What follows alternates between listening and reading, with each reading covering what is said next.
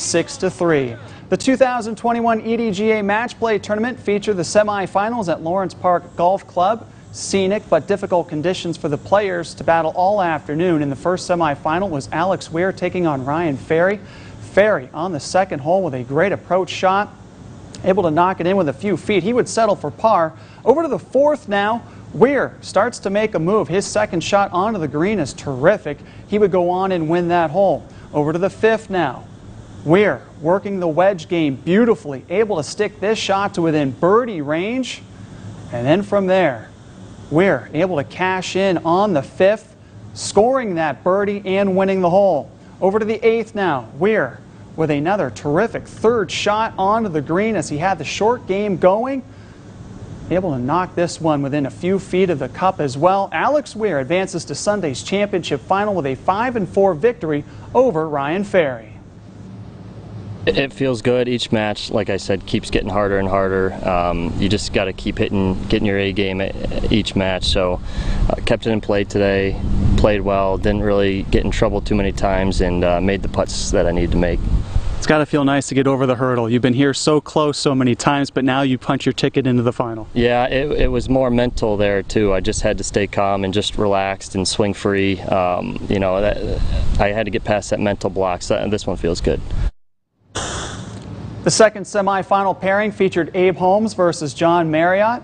On the second hole, Marriott with a short pitch shot, and he shows off the short game nicely. Gets this to within a birdie range. Marriott would then step right up, calmly knocking down the birdie putt to win the hole. Skip to the par 5 eighth. Marriott, again with the wedge in hand, able to punch this one out, runs it nicely toward the cup.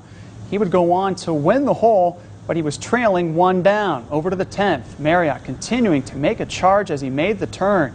Makes the birdie there to go one up now. Jump to the 15th green. Holmes two down has this short putt, and he thought he had this one going in and to win the hole, but he can't believe that he lipped out.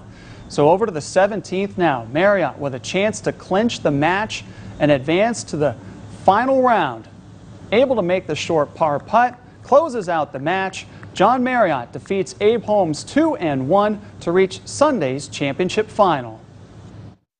It was just a rough day today. I mean, yep. everything had to be flighted. Um, most of the shots were into the wind. Uh, I think both of us ended up hitting in the hazard a couple times. Uh, neither of us had our best stuff, but it was, you know, it's days like this where you just got to grind and make putts, and that's what I did. You know, I, I, I wanted to prove that I could do it. I, I, knew I was good enough to do it, and I, I was, you know, just how I played throughout the whole week. I, I proved it to myself, and I'm just going to take that momentum tomorrow. I got, I, I'm here, and I think I can win.